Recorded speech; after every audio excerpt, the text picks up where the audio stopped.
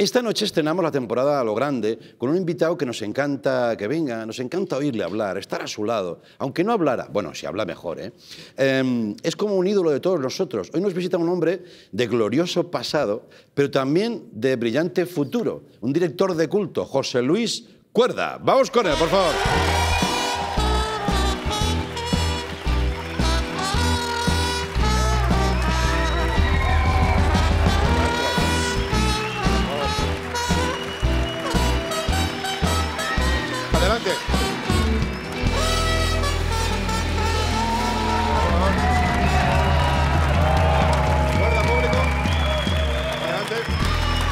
Maestro. Eh, bienvenido, José Luis Cuerda. Bien hallado. Eh, tengo la sensación de que he interrumpido sus vacaciones. Si Más es así, si es así, le pido disculpas.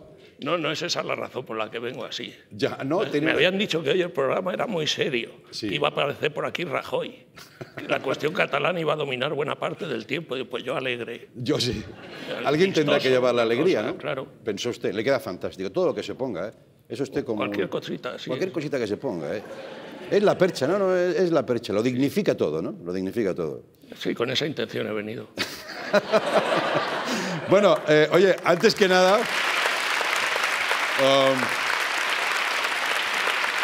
déjeme que le pregunte una cosa. Eh, ¿Estás bien de la cabeza? Bueno, No, A ver, vamos a matizar. Eh, tuvo en verano un pequeño incidente, un pequeño golpe en un festival, ¿no? O en una entrega de premios o algo así. en la habitación de un hotel fue sí, pero eh, había un festival en la calle. Había un festival, sí. Vale, no vamos a entrar en detalles, no vamos a meternos en la intimidad. Ya sabe usted que hay cosas que en las habitaciones pues que hay que ir con cuidado. Dímelo a mí que me pegué un bofetón. Pero bueno, por suerte se quedó, se quedó en un susto y ya todo, todo bien, ¿no? Sí, según la prensa, lo único que le faltó decir es que le daba mucha pena que no me hubiese matado. No, pero Sí, hombre, sí, sí dijeron, eso- dijeron que había tenido un, traumatismo cráneoencefálico, que había estado en la UCI, no sé cuántas cosas. Sí. ¿Tú conoces al periodista que escribió eso? No, no, no lo gremio? conozco, no. Pues que de eso te has librado. Todos los amigos rápido actuando, oye, ¿qué pasa? ¿Qué pasa? Hasta que el propio José Luis ya sale en su voz, en su texto y dice, no, no, que, que ya, que ya estoy bien. Aparte de eso, el verano, ¿correcto? Mejor que correcto, está muy bien. ¿Sí? Sí, ha sido tres o cuatro días nada más que está en Galicia y tal, y muy bien. O sea, ¿tu bien. verano se ha reducido a tres o cuatro días? Sí, y no porque lloviese o porque no, sino porque no pude estar más. No puede. Vale, vale. Me tuve que venir. Vale, vale. Pero. Bueno, es- por una parte estoy contento, de que decir que estás ahí activo con tus cosas, pero por otras, joder, son dos meses de verano, ¿eh? Pues a ver si me equivoqué. A ver si lo celebraste en primavera. Bueno, Me metí la pata. vamos a ver.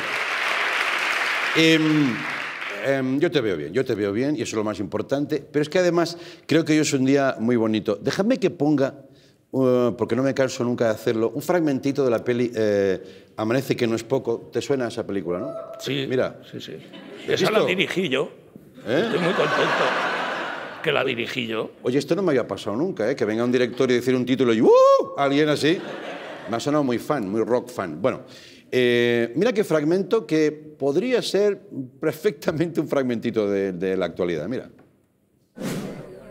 En resumen, hemos ganado los de siempre.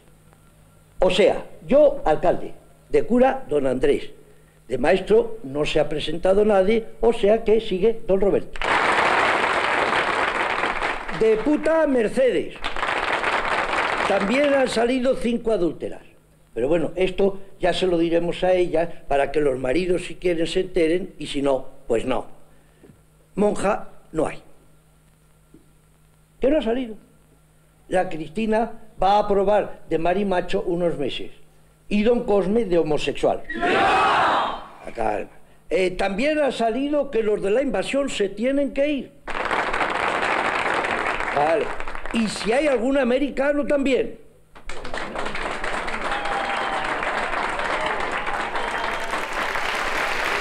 Bueno, y cogen y se van. Me encanta. Ah, la, España, la España real, José Luis, de ahora, ¿estaría superando al- a la del Amanece? Sí. Sin duda ninguna. ¿Sí? ¿Tú tienes esa sensación? No me fijo mucho porque me da miedo lo que me pueda encontrar si me fijo. Sí, ¿eh? Pero la España de hoy, ¿te refieres a la de hoy? Sí, sí, sí, la de, la de hoy, o la de esta semana, ¿no? Ah, si es una semana ya, ahí ha habido líos y cosas. Yo he venido vistoso, o sea, que se vea una Para cosa... pasar desapercibido. Loros y selvas y Porque, oye, cosas.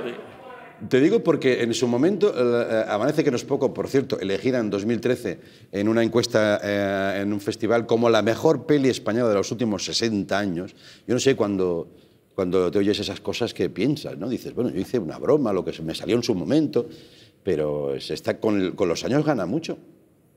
Yo no sé si gana o pierde, pero ahí está. Sí. Y la verdad es que el otro día en un, en un cine que estaba lleno conté las veces que se rió la gente y se rieron 36 veces.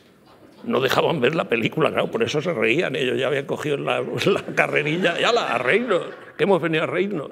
Y tú, callaros, hombre, que os perdéis el diálogo, ¿no? O sea, No, yo los dejé, no, no, enfrentarse a las masas enfervorecidas no conviene. Te decía lo de, lo de que en su momento es una peli que pasa no desapercibida, pero sí que, bueno, la califican, ah, bueno, esto es un, como una especie de delirio surrealista sobre los tópicos, bueno, pero están más vigentes que nunca, ¿no? Y han ganado con el, con el paso de los años, ¿no? Como lo veáis, yo, yo humildemente hice aquello. Mira, te voy a decir una cosa y se lo voy a decir a la gente. Yo creo que está muy bien hablar del pasado, pero hoy lo que nos hace especialmente felices es poder anunciar que José Luis Cuerda se pone en breve, relativamente en breve, a rodar su nueva película. Un aplauso para eso. ¿no? Eh, Eso es. Eso es lo bueno. Vamos a ver. Ah, una peli ¿Está bien si decimos que es prima hermana de Amanece? ¿La peli Tiempo después? No, está hecho con los mismos mimbres, pues lo he hecho yo. Yo me siento a escribir y me sale lo que me sale, y me salen cosas así normalmente, o, o- o tres o cuatro veces me han salido cosas de ese tipo. Sí. No es segunda parte de nada, ¿no? es una película que transcurre en el año 9971, mil años arriba o mil años abajo, que tampoco, en esas magnitudes, tampoco hay por qué aquilatar mucho. sí. Y, el mundo a esas alturas ha quedado dividido en dos núcleos de población, por decirlo así. Una vive en un edificio emblemático donde hay una representación de todo. Pues hay dos guardias civiles, hay dos carniceros, hay dos barberos, hay dos tontos. Es decir, hay de todo en eso. Y luego están los desheredados, que son un montón, muchísimos más, que viven en un descampado allí como pueden, acampando. Sí. De no sé por qué los descampados, bueno, es igual. No nos vamos a liar por esas minucias. Y, y de repente hay uno de los que viven en el campo de la desgracia esta que dice que él quiere entrar en ese edificio, que él hace una limonada muy buena Sí. y que quiere entrar a venderla allí. Claro. Entonces el portero, el conserje del edificio, quiere convencerlo de que no debe entrar porque se desnaturaliza, sufre merma ontológica, es decir, su ser mismo, si, lo deja, si deja de ser parado, sufre una merma, ya no es parado. Claro. No sé si me explico. Sí, sí, sí, no es nadie, ¿no? No es nadie. Ya. No es nadie, o sea que no conviene.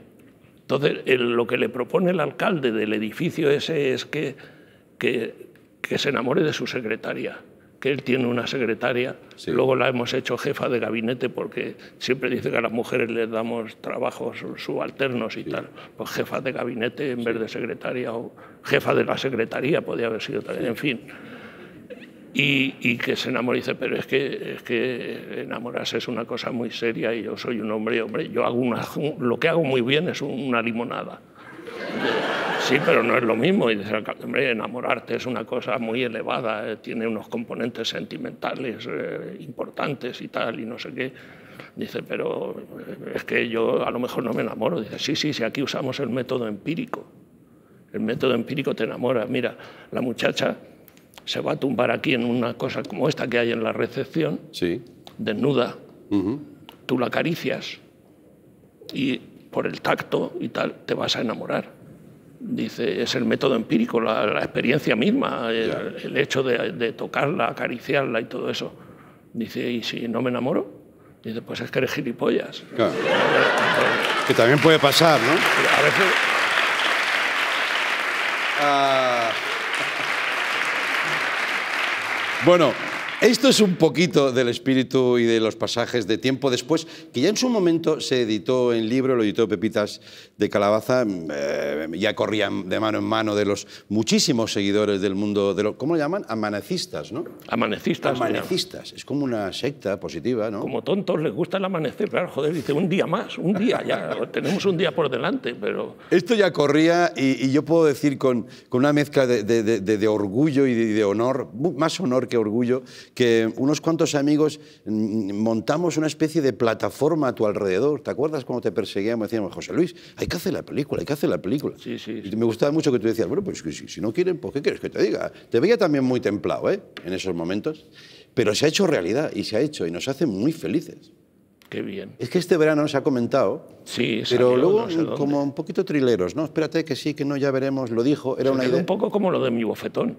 Sí. O sea, que, que me había matado, me había matado, pero luego no. Esto es lo mismo, que quitan el IVA, que bajan el IVA, que el IVA lo van a dignificar, Ya. pero luego no. Eso no lo ha visto nadie, ¿no? Yo no. Ya. Estaría bien, por otro lado, estaría un poquito bien, ¿no? Estaría bien. Vale. Estaría bien. Bueno. Voy a contar el final de la película. Hostia, no. Corriendo el río, sí, sí. No, no, cuidado. Sí, sí, no, que no- José que Luis, no pasa eh, nada. vuelvas al cine. No te hagas un freelance, no te dispares en tu pie, ¿sabes? Bueno, lo que tú veas. Me ha convencido. Señores, mi- no, no, no, mira lo que pone el autocú, es maravilloso. ¿qué pone? Eso, a ver, dímelo a la cara, anda. Dice, Andreu despide a José Luis Cuerda. Sí, hay una indicación. Hay una, hay una indicación. Bueno, pues te voy a Y luego. Broncano ha, ha participado también, porque se Sí. esconde ahí algo, Vale. algo raro. Mira, ya, se- ya está. Siguiendo esta indicación voy a, voy a hacerla, sí. Eh, José Luis, bueno, hola, ¿cómo estás? Muy Mira, bien, hemos voy a beber un poquito de agua. Sí. Te he llamado a mi despacho porque estamos, hemos tomado la decisión, la directiva de la empresa, de despedirte. Por, no por tu valía ni tu talento, porque es muy alto, pero no podemos permitirnos esa nómina. La nómina. Mm. Te estoy despidiendo, ¿eh? Y hablando de nómina, que hace falta jeta porque me, me echas a la calle ni- sin nómina y sin, sin... ¿Cómo se llama eso cuando te echan?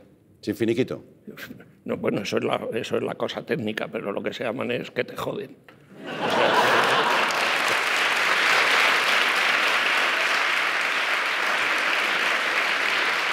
Eh, ¿A ti te han despedido alguna vez? No. Espera. No te veo. No, no, no me acuerdo yo. Y de, de esas cosas se acuerda uno. Cuando te ponen en la calle. No, no. No, no, no, No me han despedido. No ha nacido quien pueda despedirte.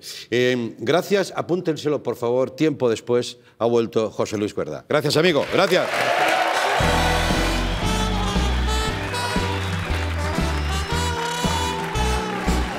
が持ってま。